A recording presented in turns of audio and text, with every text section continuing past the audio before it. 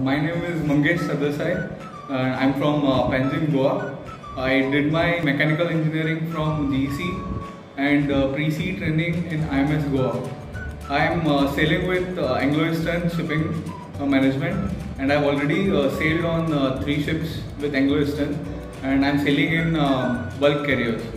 So my experience on ship was very good because I think first of all I'd like to uh, thank uh, IMS Goa for giving me an opportunity to develop my uh, skills in the workshop here and also the training which we get afloat on the ships which we visited in MPT. That was very helpful in uh, getting used to the ship environment because we are trained here exactly the way we are going to work on the ships and that helped me uh, in a great way when I started my career as a fifth engineer with Anglo Eastern and it uh, helped me uh, grow very fast. And after clearing my class 4 in 2019 I have sailed once as fourth engineer.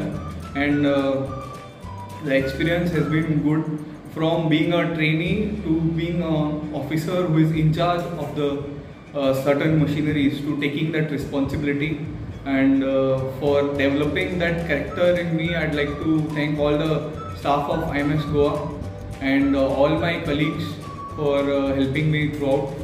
And thank you